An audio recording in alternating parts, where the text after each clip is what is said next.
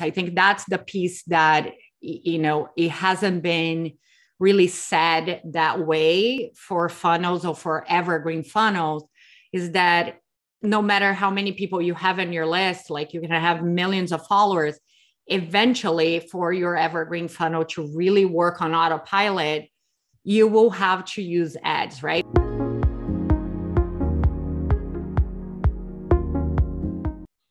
Hey everyone, my name is Jack Born. I'm the founder of Deadline Funnel, and with me today is Roberta West. She helps entrepreneurs launch digital products and make money while they sleep with evergreen funnels tailored to their businesses. So this topic is very near and dear to my heart. She holds an MBA in operations management and recently quit her 10-year corporate career as a launch manager in biotech to help 1 million entrepreneurs launch digital assets in their businesses. Great to have you here, Roberta so good to have uh, the opportunity to talk to you guys. Uh, I've been using Deadline Funnels for a while, and uh, I feel like it's a dream come true to come and chat more about it. so, why don't you why don't you tell us about how you tra- how you transitioned and why you transitioned from your corporate gig to uh, working for yourself? I know you know that was a big move in my life when I made that transition. So I'm sure it was a big move in your life. How did that come about?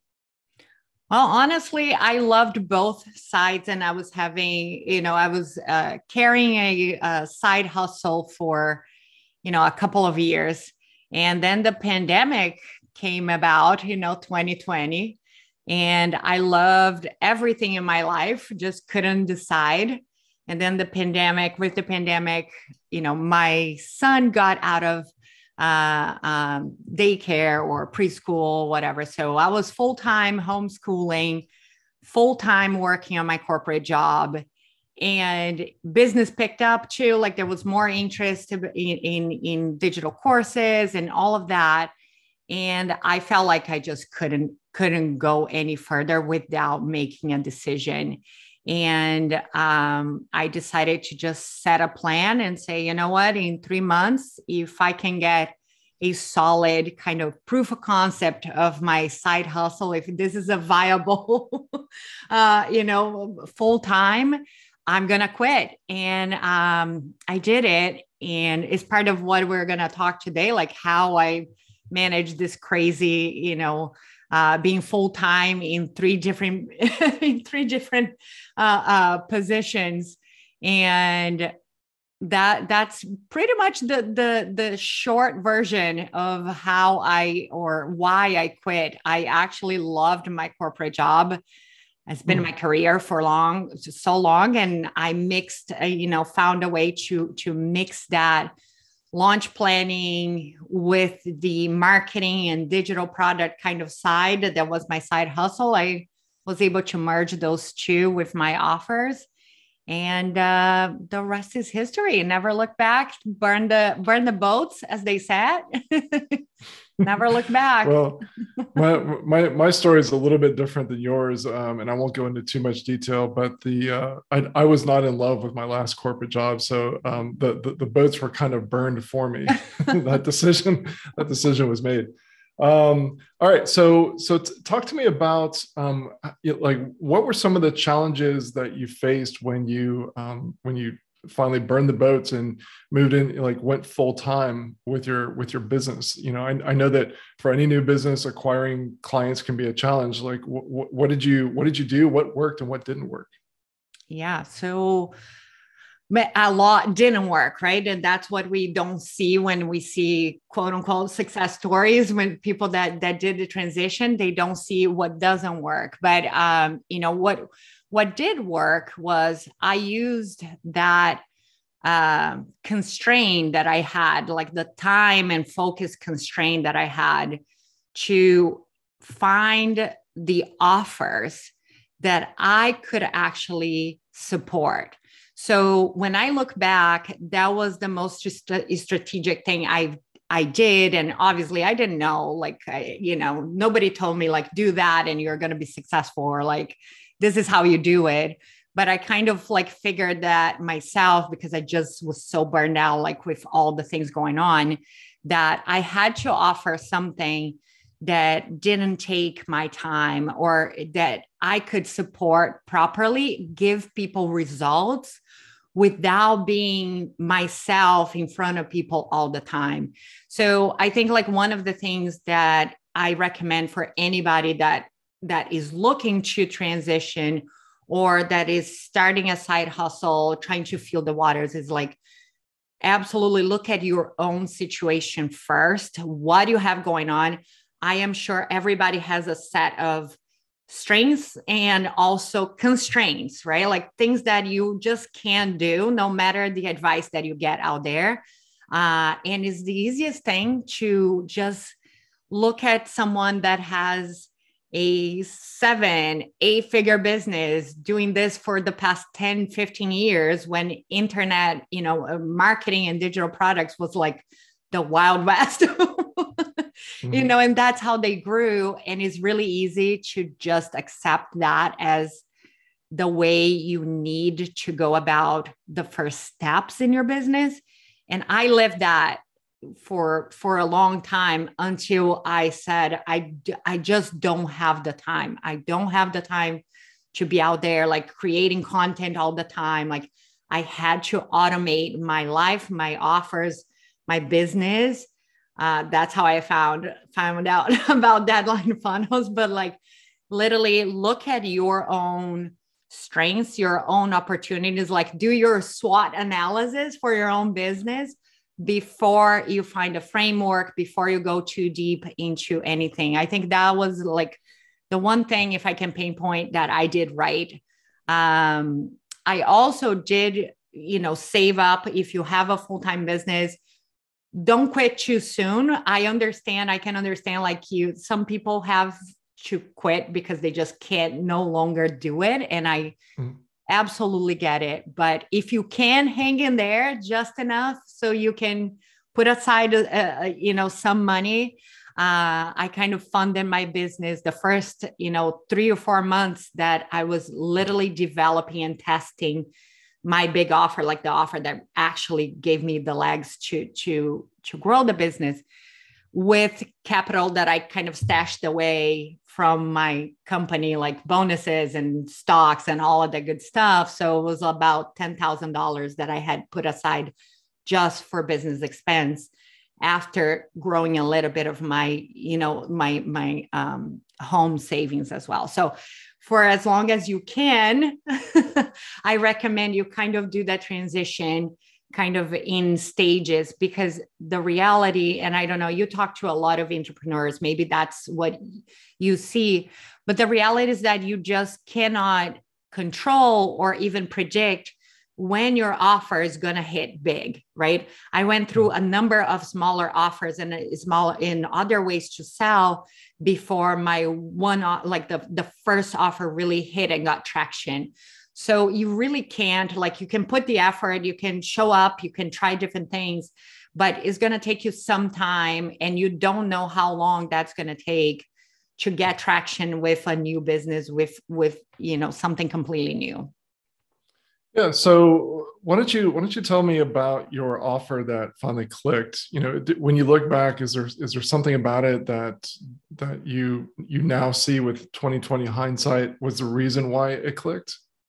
Oh, absolutely. I put all in this into a framework because I think is it's something that we a lot of entrepreneurs do kind kind of like uh, on the fly. They never really assess back, but um, you know one of the things again like i didn't push to um i didn't fall in love with my offer i actually let the let my audience pick what kind of offer what kind of delivery mechanism like how they wanted to consume that information so i had as anybody, right? Like you can look at the opportunities, like the things you know, the things you've mastered, the things you can teach and share with people. Uh, some people have like just one thing, and I am so always so jealous of those people that are like, I am the expert in cooking, making, and like I'm the best in my. but for some of us, uh, I think Marie Forleo says we're like multi passionate entrepreneur, whatever it's called.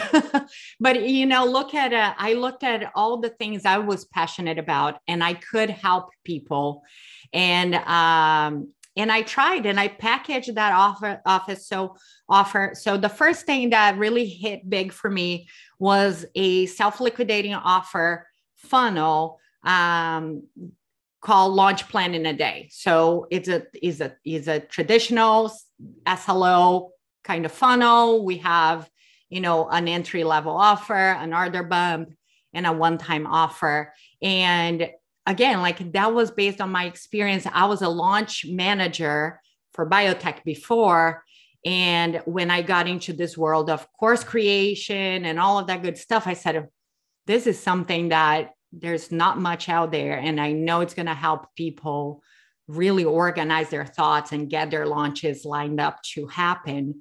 Um, but the way that I shaped as an SLO, that was the really tr- real trick behind the success of it is that I broke my offer and redid my offer many times the months before. So I didn't really love one thing that I created. I had like a, the early version of it was something called workshop launch kit. It, the idea was like all in one, you know, anything for your paid workshop. If you wanted to do a paid workshop, you would buy this this $97 offer and you would get it.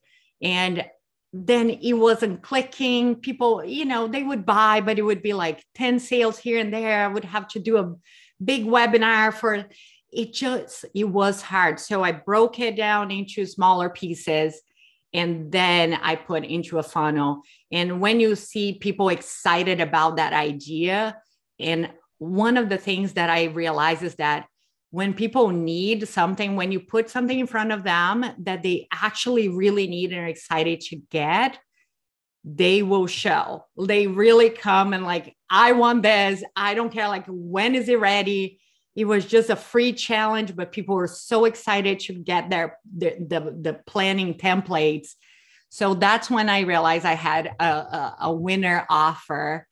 And then i created the whole full funnel and like all the good stuff. And i was already playing playing you know with ads because again i didn't have the time uh, to post on social media to do any of this. So ads was my game uh, when i was working you know, working corporate. Um, so I was already kind of like getting better at the whole ads game, and that was the first offer that kind of set up my my um, my first year in business, kind of like uh, with a good start. So now, um, you tell me about tell me about what you help your clients do. Um, you you help them to evergreen their their business. Why don't you Why don't you tell me about about that and some of the some of the frameworks that you share with them? Yeah, no, absolutely. So from that experience, you know, a lot of people obviously they see you're doing something, and uh, like I said, I realized that testing and you know playing with your offer before you build your funnel was the actual like the the actual click moment for me right like it was that that okay this is how i believe people should approach their funnels instead of the other way around. It's like you just build the funnel and hope that you know someone is going to fix it or you know hope that it works. Um, so i started just like consulting and just helping people get their offers set up on the same in in you know by interviewing when that funnel was working. And my rule of thumb is like before it makes a hundred thousand I don't even take my eyes out of anything. Like I don't move. That, that thing needs to either grow at a hundred thousand or, you know, get, get, get put aside. So once I hit, I hit that mark about like four months into it, then I said, okay, now it's time to look for what's next in the business. I didn't have anything and uh, interviewing people. And I was like, okay, the next thing I think I can help people is with their launch data. right? Like how to debrief, like how to go into the analytics of your launch so you can scale your launch. Nobody wanted to talk about it. Nobody wanted to, they just wanted to know how to create an evergreen funnel like mine that ran, you know, 100% just ads driven. Like I didn't have to post anywhere. And it was making a lot of money. It was before iOS. Um, so people just wanted to know how I did it. And then I create, I put on a framework called Straight to Evergreen, uh, which is this this journey to find the right offer the right audience for evergreen and to find the right funnel right because a, lot of people just know how to do or it has experienced webinar funnels.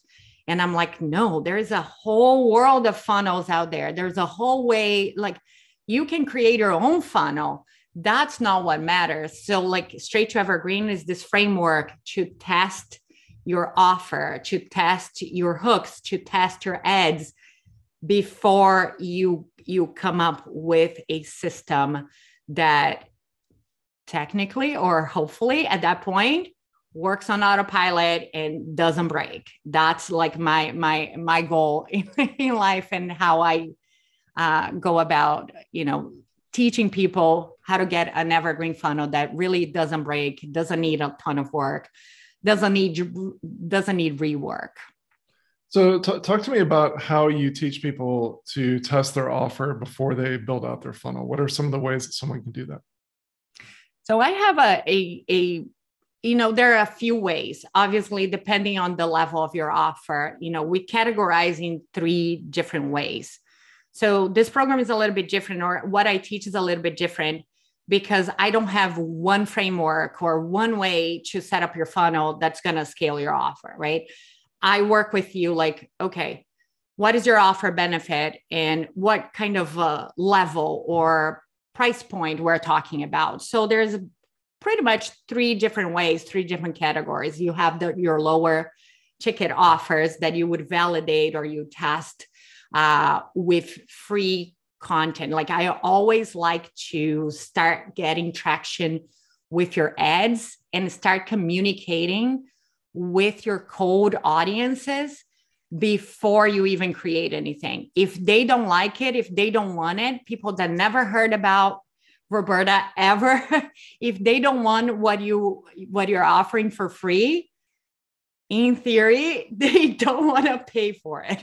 So pretty mm-hmm. much we set up those micro tests and it's all using paid advertising primarily to cold audiences to start testing the offer hooks, the offer promises that cold audiences are mostly interested about consuming and, and, and getting for free most of the time. Now, if you have obviously like a, you know, 5,000 coaching programs, something like more high ticket, that we are, we, we recommend testing with affiliate bonuses, for example. That's how I created my program. Tested as a free item that you can obviously get paid and is a certain level that you capture the right audience.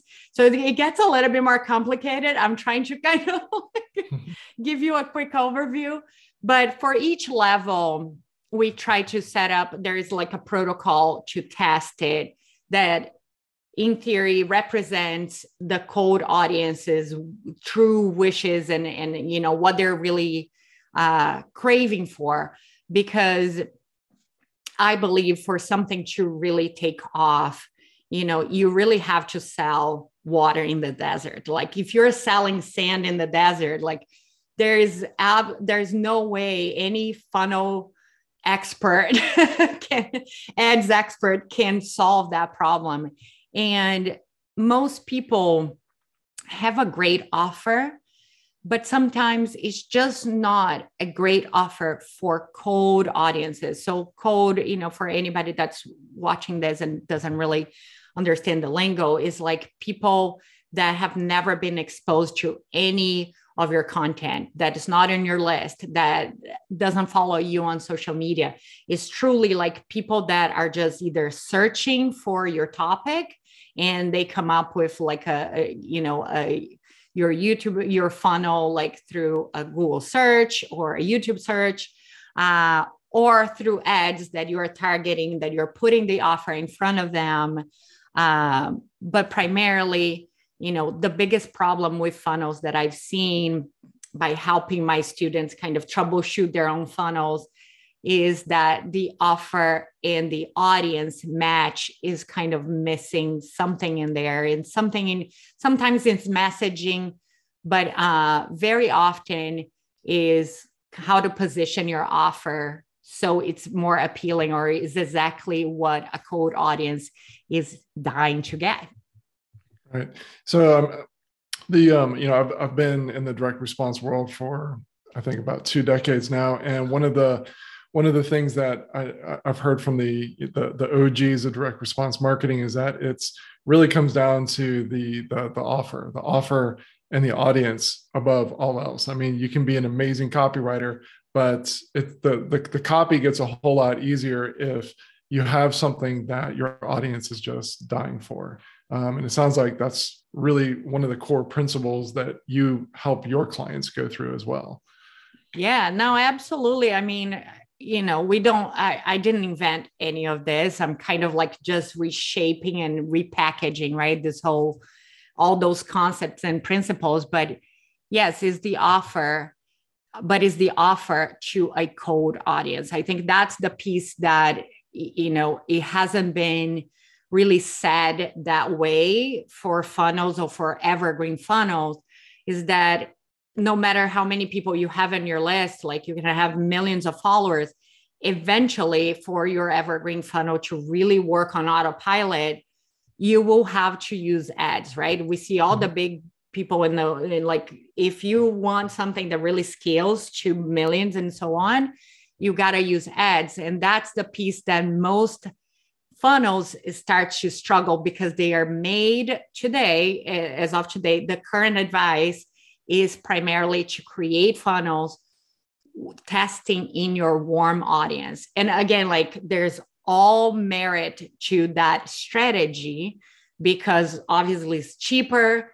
It gives you great insights to what your audience wants but not always your cold audience is going to respond to something the same way that your warm audience. And that's really like the trick of straight to evergreen is like if you want to put something in evergreen for real, like that in autopilot, uh, you got to start with that mindset and trying to reach and teach your teach the algorithm, teach teach uh, the ads in your account and all that good stuff early on so it can pick up and scale once you have it all created. So there's a there's a little bit more than that but yes the offer is central is offer audience and then the third part of it is the funnel sort of like finding the right funnel for your offer and your audience but we start with with finding enough of your audience to support the growth and shaping your offer to something that they want yeah. So how much how much would you expect if if if I came to you and I said, "Hey, I want to test this offer to a cold audience," um, how much would you advise me to be prepared to spend or invest in order to uh, figure out, you know, is is my offer is my offer going to click with that cold audience? I uh, I I joke with my students. I said, you know, I'm a sore loser. I hate losing money. Uh, I can't go to any casinos because it's just terrifying to me to lose like 20 bucks.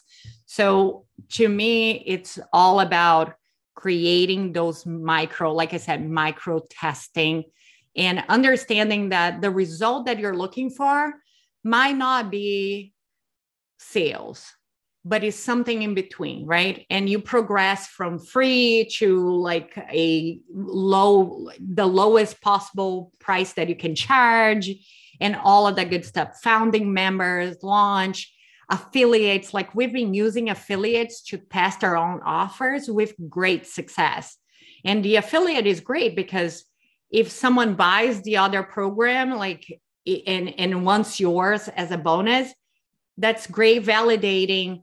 Uh, but you don't have the overhead of producing a full launch and creating a full program just to figure that people are not that interested, right? So there are ways to test, and I recommend always starting with the minimum to get you a set of results. So it's all kind of like micro experiments to mm-hmm. test your offer. So the first level that I recommend to everybody is to do the core promise for free. So, and with that, but you use paid ads to fill that. So I love challenges. I think is one of the best ways to interact with people and get feedback like, you know, live without being in a paid environment. So if you're running a challenge, like run a free challenge but the outcome of the challenge is your actual offer, right? Your actual promise. And try to run ads and fill that like a hundred people. And it's all like uh, I like to work with a budget. Make a budget, whatever you have, you know, make sure you have enough to test all the way. Like you don't know if this first round is gonna you're gonna go forward or if you want to if you need to redo it right so you got to have legs and this comes uh I, I, don't know if i even put on my on my bio but i have a uh, my undergrad is in genetics so that's where i learned all of this is like test test test for years and then you might get no results at the end but um, i recommend you start really really small with free items that free uh, offers, right? Challenges or uh, lead magnet, anything that you can get people or a free workshop that you just can get, you know, you put a hundred dollars and you see how many leads, and then you start benchmarking because very important in the early stages is how much you can get for a lead, for a cold lead to like your offer, right? And that's going to give you indications. And now, like, stop me if I'm going too technical at this point. Maybe your audience is like, not interested. But the benchmarks you set up for, at that stage are much more important than anything I can tell you about the industry, funnels, or anything like that. Because how much you paid for a cold lead right? To sign up for your challenge that is based on your main promise of your offer. That is your benchmark, is what you can do today with Facebook, with your account, or uh, you know, Meta advertising, whatever you're using for paid advertising. That's your benchmark for that offer free. So then from that, we can do a viability study and like understand, okay, I spent a $100 and I got 10 people on my challenge. That's $10 a lead for a free offer. If I'm selling something that is $37, I got to do something here, right? Like my numbers right. are not going to be so so profitable. So we can start studying and evaluating how much this audience or how well we can target this audience and we can start building conversations, like real conversations around the real numbers that the person can have. But you ask for a number, I'm going to just put it out there, a, just a mm-hmm. range. Um, I do believe in the early stages, you should invest at a minimum $250, $500 uh, for an evergreen, like free test. And then a later you know when you are starting to test with paid offers testing out really the funnel structure uh, i recommend two or three times the amount that you're going to charge for the program ultimately. So if it is you know $500 like $1500 for just testing the funnel you're going to sell at much less. You might not break even but that's what i recommend just to gauge just to get good data.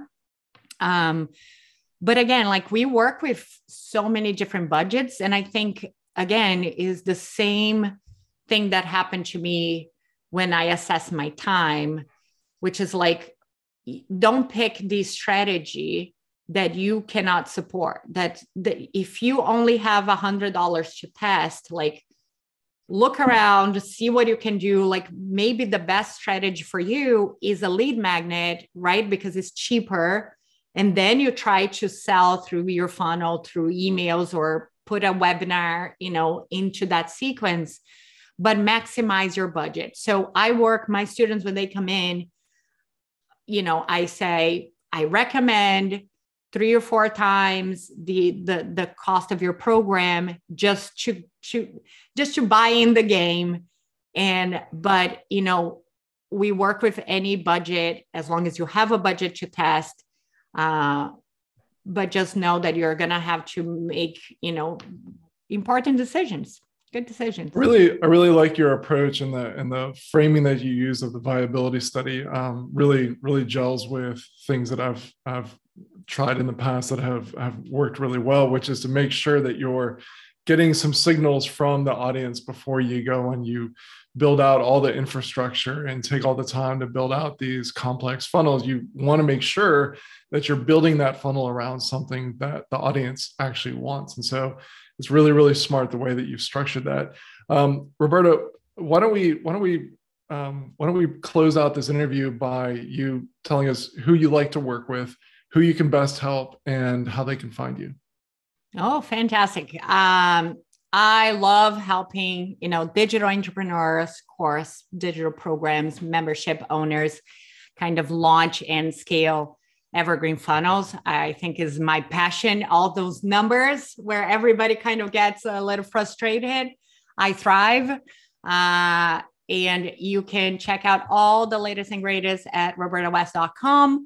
And we're actually just launching an agency as well because I do understand that it's kind of something that not a lot of people like you and I would love to learn more how to build funnels. mm-hmm. So we're creating an agency, uh, but you can find that find more about uh, through robertawest.com. Awesome. Well, Roberta, thank you very much for coming here and sharing your frameworks for going straight to Evergreen. I know that this is something that is um, going to be really, really interesting to my audience. So thank you for your time. Absolutely. Thank you so much for the opportunity. I love Deadline Funnels. It makes all of this possible. So, very grateful to be here and to be one of your clients.